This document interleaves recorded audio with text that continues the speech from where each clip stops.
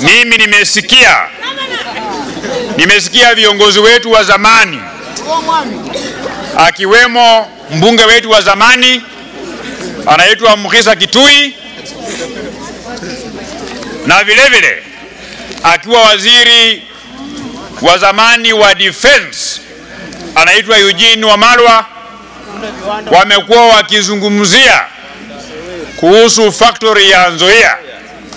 Wamekuwa wakisema ya kwamba Rais William Ruto ameuza Nzoia Sugar na wamekuwa wakipiga kelele kila mara.